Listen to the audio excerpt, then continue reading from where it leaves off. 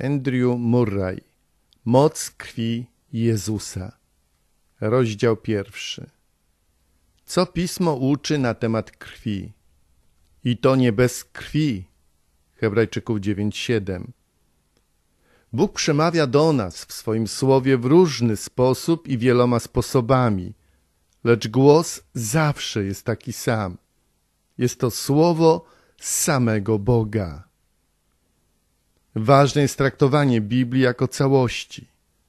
Świadectwa, które otrzymujemy z różnych jego części, dotyczą ostatecznych prawd, dlatego też uczymy się rozpoznawać te miejsca, które znajdują się w objawieniu, jak i w sercu Boga. Zaczynamy odkrywać, czym są fundamentalne prawdy biblijne, które przede wszystkim zasługują na szczególną uwagę.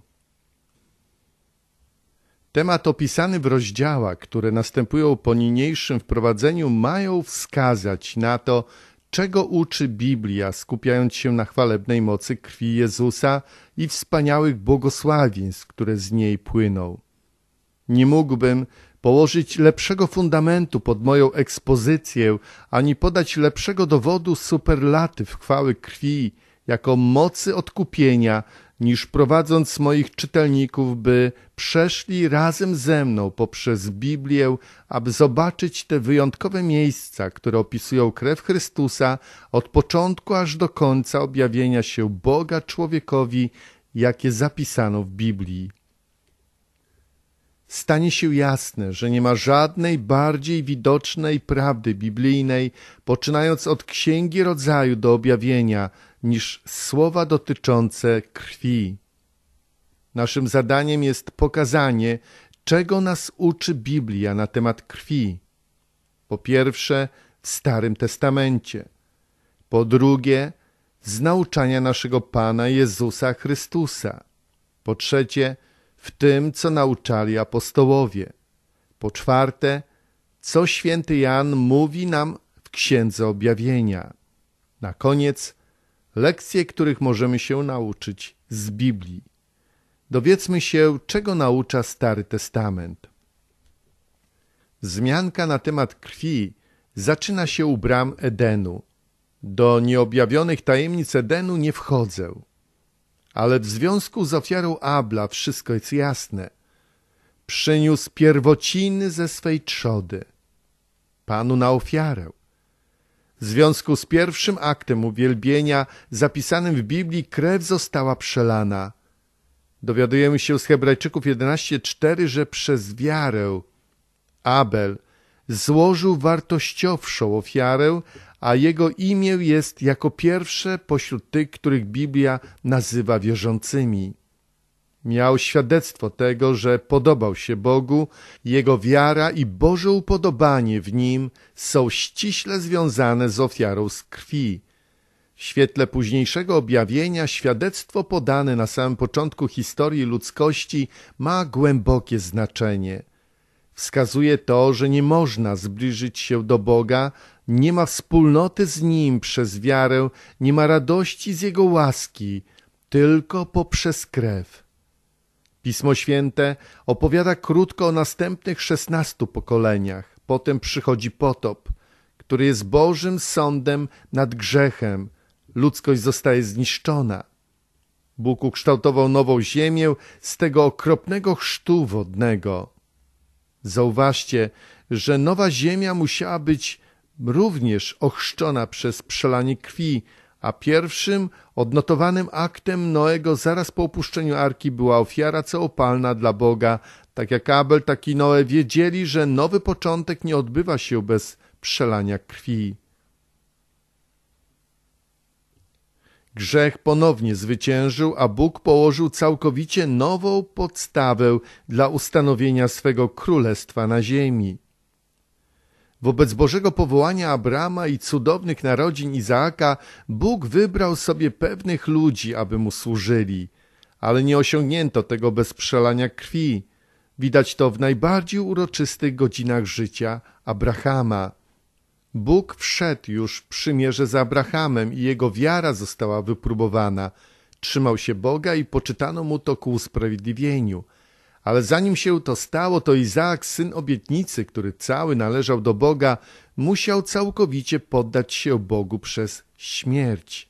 Izaak miał umrzeć. Abraham, jak również Izaak, tylko przez śmierć mogli zostać uwolnieni od życia dla samych siebie. Abraham musiał złożyć Izaaka na ołtarzu. To nie było arbitralne polecenie Boga, to było objawienie boskiej prawdy, że tylko przez to, przez życie całkowicie poświęcone Bogu jest to możliwe. Ale to było niemożliwe dla Izaaka umrzeć i powstać z martwych, albowiem ze względu na grzech śmierć by go zatrzymała. Lecz spójrzmy, jego życie zostało oszczędzone, a baranek został ofiarowany na jego miejsce. Przez krew, która wtedy spłynęła na górze Moria, jego życie zostało oszczędzone. Jednakże tylko dzięki krwi został podniesiony. Wielka lekcja została nam tutaj pokazana. Mija czterysta lata, Izaak staje się w Egipcie ludem Izraela. Przez jego wyzwolenie z niewoli egipskiej Izrael miał zostać uznany za pierworodnych Boga między narodami. Tutaj także nie odbywa się to bez krwi. Ani łaska Boża, ani przymierze z Abrahamem lub działanie Jego wszechmocy, które mogło tak łatwo zniszczyć Jego przeciwników, nie mogło obyć się bez konieczności krwi. To, co krew umożliwiła na górze Moria jednej osobie, która była ojcem narodu, tak teraz jest to doświadczenie dla całego narodu. Poprzez pokropienie futryny w drzwiach Izraelitów krwią baranka paschalnego zostały wypowiedziane słowa Gdy ujrzał krew, ominę was. Ludzi uczono, że życie można uzyskać jedynie przez śmierć zamiennika. Ich życie było możliwe jedynie przez krew ofiary danej w ich miejsce, a dokonanej przez pokropienie krwią. Pięćdziesiąt dni później ta lekcja nabrała wyraźnego znaczenia. Izrael osiągnął Synaj. Bóg dał prawo jako fundament swojego przymierza. To przymierze musi zostać teraz ugruntowane, ale jak to jest wyraźnie określone w Hebrajczyków 9:7 i to nie bez krwi. Krew ofiary musiała być wylana najpierw na ołtarz, a następnie na księgę przymierza, reprezentując Bożą stronę przymierza, a następnie ludzką, z deklaracją oto krew przymierza. Księga Wyjścia 24:8. To w krwi przymierze miało fundament i siłę. Jedynie przez krew Bóg i człowiek mogą wejść ze sobą w przymierze. To, co złe, zostało zapowiedziane przy bramie rajskiego ogrodu na górze Ararat, na górze Moria w Egipcie, a teraz potwierdzone u stóp Synaju w najbardziej uroczysty sposób. Bez krwi człowiek grzeszny nie może ostać się przed Bożym obliczem. Istnieje jednak istotna różnica pomiędzy sposobem stosowania krwi w poprzednich przypadkach w porównaniu z tymi ostatnimi. Na górze Moria życie zostało wykupione przez przelanie krwi. W Egipcie były spryskane futryny domów, lecz na Synaju sami ludzie byli pokropieni. Im bliższy był kontakt, tym potężniejsze wykonanie. Zaraz po ustanowieniu przymierza zostało powiedziane i wystawiał mi przybytek, abym zamieszkał pośród nich. Wyjścia 25, 8. Chodziło o to, by w pełni cieszyć się błogosławieństwem Bożego Przymierza pośród nich. Dzięki Jego łasce mogą znaleźć Go i służyć Mu w Jego domu. Bóg swojej trosce pokazał, w jaki sposób służba w Jego przybytku ma być wykonywana. Zauważcie, że krew jest powodem tego wszystkiego. Kiedy zbliżamy się do przedsionka ziemskiego przybytku Króla Niebios, pierwszą widzialną rzeczą jest ołtarz całopalenia, gdzie krew jest nieustannie wylewana od rana do wieczora. Wejście do miejsca świętego, a w nim najbardziej widoczny jest złoty ołtarz kadzenia, który również wraz z zasłoną jest nieustannie kropiony krwią. Spytaj, co leży poza miejscem świętym, a powiedzą ci, że jest to miejsce najświętsze, gdzie mieszka Bóg. A kiedy zapytasz, jak on tam mieszka. Zostanie ci powiedziane, że nie bez krwi. Złoty tron, gdzie jaśnieje Boża chwała, był również pryskany krwią co roku, gdy arcykapłan wchodzi sam z krwią, by uwielbiać Boga. Każda służba, którą się wykonuje, nie odbywa się bez krwi. A jeśli będziesz dalej nieustannie pytał, to odpowiedź będzie zawsze taka sama, że krew jest zawsze najbardziej potrzebna.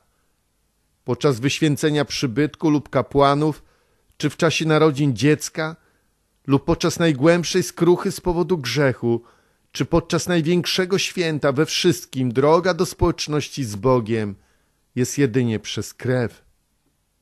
Działo się to przez 1500 lat na górze Synaj, na pustyni w Sylo, w świątyni na górze Moria, aż do czasu, kiedy przyszedł Pan Jezus i dał koniec temu, co było cieniem, przez poniesienie jednej ofiary i pokazanie społeczności ze świętym Bogiem w duchu i w prawdzie.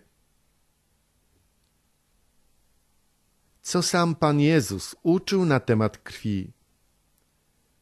Wraz z przyjściem Pana Jezusa stare przeminęło, a wszystko stało się nowe. On przyszedł od Ojca w niebie i dał nam słowa, które są drogą do Ojca. Mówi się czasem, że słowa nie bez krwi należą do Starego Testamentu, ale co mówi nasz Pan, Jezus Chrystus? Zauważcie, że po pierwsze, gdy Jan Chrzciciel zapowiadał Jego przyjście, mówił o Nim jako o tym, który sprawuje podwójny urząd, jako baranek Boży, który gładzi grzechy świata oraz ten, który będzie chrzcił Duchem Świętym. Przelanie krwi baranka Bożego musi nastąpić przed zesłaniem Ducha Świętego. Tylko wtedy, gdy wypełni się wszystko, co Stary Testament nauczał na temat krwi, może nastąpić zesłanie Ducha Świętego. Pan Jezus wyraźnie mówił, że śmierć na krzyżu była celem, dla którego przyszedł na ten świat, że był to konieczny warunek odkupienia i życia, które nam przyniósł. Wyraźnie oświadcza, że połączenie przelania krwi z jego śmiercią było konieczne. Synagodze w Kafarnaum mówi o sobie jako o chlebie żywota, a swoje ciało oddają za żywot świata. Cztery razy z rzędu powiedział bardzo dobitnie: Jeśli nie będziecie pili krwi mojej, nie będziecie mieli żywota w sobie. Kto pije krew moją, ma życie wieczne. Krew moja jest prawdziwym napojem. Kto pije krew moją, we mnie mieszka, a ja w nim. Ewangelia Jana, szósty rozdział.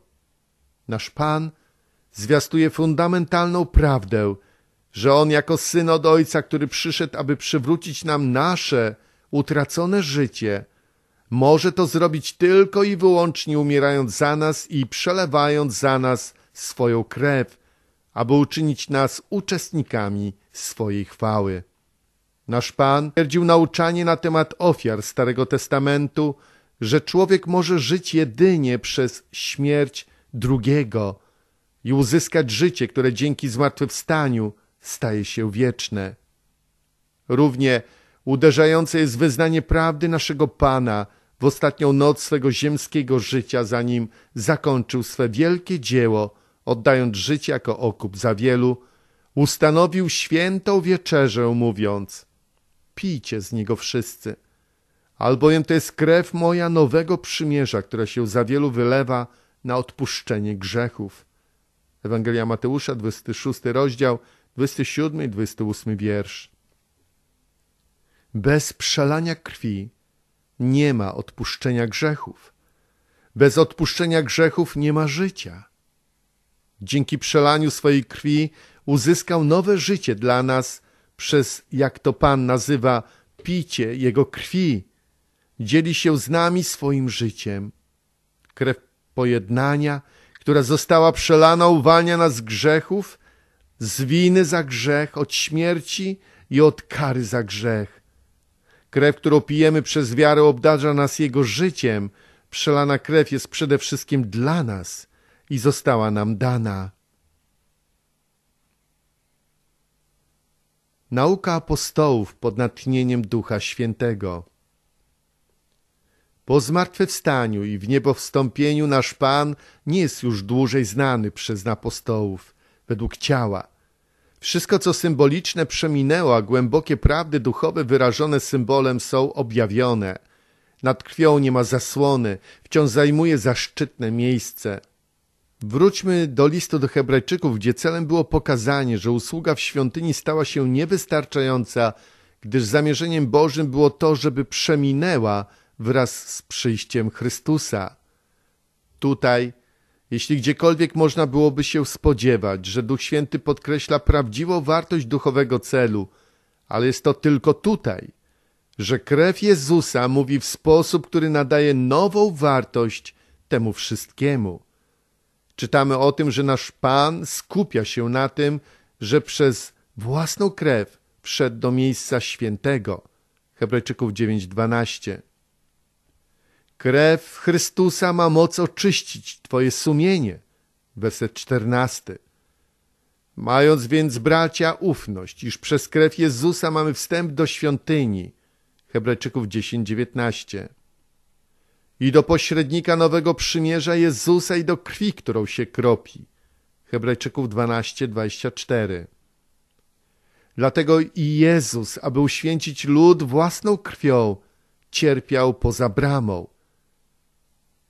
Hebrajczyków 13:12. A Bóg pokoju, który przez krew przymierza wiecznego wywiódł wielkiego pasterza owiec Pana naszego Jezusa. Hebrajczyków 13:20. Przez takie właśnie słowa Duch Święty uczy nas, że krew Jezusa jest prawdziwie mocą całego naszego odkupienia. Nie bez krwi jest sprawą ważną zarówno w Starym, jak i w Nowym Testamencie. Nic bez krwi Jezusa, przyjmującego śmierć dla grzechu, można zakryć grzech od Bożej strony lub usunąć go z naszej. Znajdujemy takie samo nauczanie w pismach apostolskich Paweł pisał i są usprawiedliwieni darmo, z łaski Jego przez odkupienie w Chrystusie Jezusie, którego Bóg ustanowił jako ofiarę przebłagalną przez krew Jego, skuteczną przez wiarę. Rzymian 3 rozdział 24-25 wiersz. Jesteśmy usprawiedliwieni przez Jego krew. Rzymian 5:9. Do Koryntian apostoł mówił, że kielich błogosławieństwa, który błogosławimy, czyż nie jest społecznością krwi Chrystusowej? 1 Koryntian 10:16. W liście do Galacjan używa słowa krzyż, by pokazać to samo znaczenie, natomiast w Kolosan połączył dwa słowa i mówi o krwi jego krzyża. Galacjan 6:14, Kolosan 1:20. W liście do Efezjan przypomina, że mamy odkupienie przez Jego krew i że są bliscy przez krew Chrystusową. Efezjan 1,7 i 2,13 Apostoł Piotr przypomina swoim czytelnikom, że są poświęceni ku posłuszeństwu i pokropieniu krwią Jezusa Chrystusa. 1 Piotr 1,2 i że zostali wykupieni przez drogocenną krew Chrystusa. Werset 19. Zobacz, jak Jan zapewnia swoje małe dzieci, że krew Jezusa Chrystusa, Syna Jego, oczyszcza nas od wszelkiego grzechu. 1 Jana 1,7 Syn jest tym, który przyszedł nie tylko przez wodę, ale przez wodę i przez krew. 1 Jana 5,6 Wszyscy oni wspólnie zgadzają się, mówiąc o krwi i chlubiąc się nią, jako mocą, przez co wieczne odkupienie przez Chrystusa jest w pełni realizowane, a następnie stosowane przez Ducha Świętego. Lecz być może jest to tylko ziemski język. Zobaczmy, co ma niebo do powiedzenia. Co mówi Księga Objawienia na temat krwi? Niezwykle ważną rzecz możemy zauważyć, że w objawieniu, które Bóg dał w tej księdze, o chwale Jego tronu i błogosławieństwie tych, którzy Go otaczają, krew zajmuje tam wciąż niezwykle ważne miejsce. Na tronie Jan widzi baranka jakby zabitego, objawienie 5.6, A starcy upadli przed barankiem, śpiewając nową pieśń tej treści. Godzien jesteś, ponieważ zostałeś zabity i odkupiłeś dla Boga krwią swoją ludzi z każdego plemienia, języka, ludu i narodu. Werset ósmy i dziewiąty. Później zobaczył wielki tłum, którego nikt nie mógł zliczyć. Powiedziano mu w odpowiedzi na jego pytanie, kim oni są. To są ci, którzy przychodzą z wielkiego ucisku i wyprali szaty swoje i wybielili je we krwi baranka. Objawienie 7, 13, 14. A potem, gdy słyszał pieśń zwycięstwa po klęsce szatana, brzmiała tak, a oni zwyciężyli go przez krew baranka. Objawienie 12, 11. Chwale nieba, widzianej przez Jana brakuje słów, by określić wielkie zamiary Boga, cudowną miłość Syna Bożego, moc Jego odkupienia, a także ogromną radość i wielkie dziękczynienie z tego płynące. Można to wyrazić w krwi baranka. Lekcje płynące z Pisma Od początku aż do końca Pisma, od zamknięcia bram Edenu, aż do otwarcia bram niebieskiego Syjonu, przemierza przez Słowo Boże złota nić. Jest to krew, która łączy początek i koniec i chwalebnie przywraca to, co zniszczył grzech. Nie tak trudno zobaczyć, że nasz Pan chce nas nauczyć tego, jak ważne miejsce w Piśmie Świętym zajmuje krew. Jedyna możliwość panowania nad grzechem. Bóg nie wyznaczył innego sposobu radzenia sobie z grzechem, czy też z grzesznikiem, jak tylko przez krew. Dla zwycięstwa nad grzechem i wyzwolenia grzesznika Bóg nie dysponuje innymi środkami niż krew Chrystusa. Tak, rzeczywiście jest to czymś, co przekracza wszelkie zrozumienie. Wszystkie cuda łaski skupione są na wcieleniu, poprzez które Pan wziął na siebie nasze ciało i krew. Miłość, która nie oszczędza się, lecz poddaje się na śmierć, Sprawiedliwość, która nie mogła wybaczyć grzechów, dopóki kara nie została potwierdzona. Zastępca, pośrednik, sprawiedliwy zadość uczynił za nas, niesprawiedliwych. Pokuta za grzech i usprawiedliwienie grzesznika stało się możliwe. Odnowienie społeczności z Bogiem wraz z oczyszczeniem i uświęceniem, aby umożliwić nam korzystanie z tej społeczności, prawdziwa jedność w życiu z Panem Jezusem – tak długo jak pijemy Jego krew, może płynąć wieczna radość w hymnie uwielbienia. Odkupiłeś dla Boga. To są promienie w cudownym świetle, które bije dla nas z kosztownej krwi Jezusa. Patrzenie na krew. Krew musi mieć takie samo miejsce w naszym sercu, jakie ma Bożym. Od początku relacji Boga z człowiekiem jeszcze przed założeniem świata, Boże serce radowało się z tej krwi. Nasze serce nie spocznie ani też nie znajdzie zbawienia, aż nie nauczymy się chodzić w mocy i chwale tej krwi. Nie tylko pokutujący grzesznik, szukający łaski musi sobie to cenić. Nie, odkupienie świadczy, że tak jak Bóg siedzi w swej świątyni na tronie łaski, gdzie krew zawsze jest dowodem, więc nie ma nic, co przybliżyłoby nasze serca bliżej Boga, wypełniając je Bożą miłością, radością i chwałą, jak żyć w stałym, duchowym widoku tej krwi. Błogosławieństwo i moc krwi. Połóżmy czas i trud, aby dowiedzieć się o pełni błogosławieństwa i mocy tej krwi, Krew Jezusa jest największą zagadką wieczności, najgłębszą zagadką Bożej mądrości. Nie wyobrażajmy sobie, że możemy łatwo zrozumieć jej znaczenie. Bóg przygotował człowieka na to od czterech tysięcy lat. My także powinniśmy poświęcić czas, by zdobyć wiedzę na temat krwi Jezusa. Krew dawana na ofiarę zawsze oznacza oddanie życia. Izraelita nie mógł uzyskać przebaczenia grzechów, chyba że życie – lub cokolwiek innego, co składał, należało do Niego. Pan Jezus oddał swoje własne życie i przelał swoją krew, oszczędzając nam ofiary z własnego życia, by uczynić ofiarę z naszego życia możliwą i pożądaną. Ukrytą wartością Jego krwi jest duch poświęcenia, gdzie krew naprawdę dotyka serca, działa w sercu, tak jak duch poświęcenia. Uczymy się oddawać siebie i nasze życie tak, aby wejść w moc nowego życia, która ta krew umożliwia. Oddajmy swój czas, aby dowiedzieć się, co Słowo Boże mówi na temat tych rzeczy. Oddzielmy się od grzechu i światowych porządliwości, gdyż właśnie te rzeczy usuwa krew Jezusa.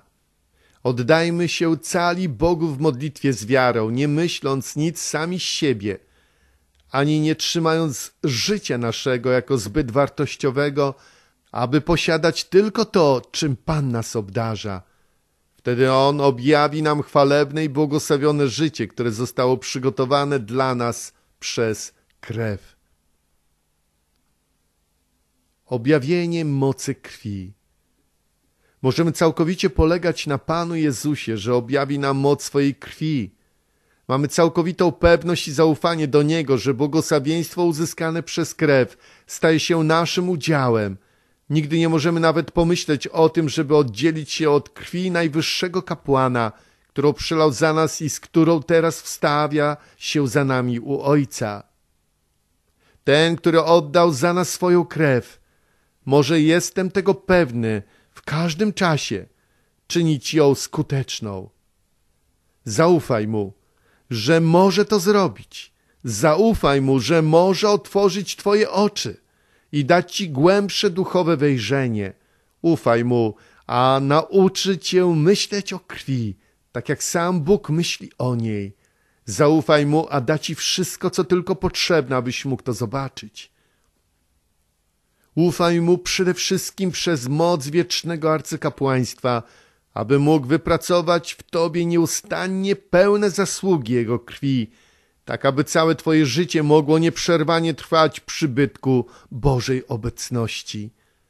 Wierzący, wy, którzy chcecie poznać drogocenną krew Chrystusa, przyjmijcie zaproszenie waszego Pana, chodźcie bliżej, pozwólcie Mu, aby was uczył, Przyjmijcie Boże błogosławieństwo.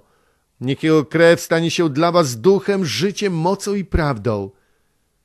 Otwórz swoją duszę wierze, by otrzymać pełne i potężne niebiańskie dzieło przez drogocenną krew w sposób bardziej chwalebny niż kiedykolwiek doświadczaliśmy. On sam będzie to wszystko czynił w Twoim życiu.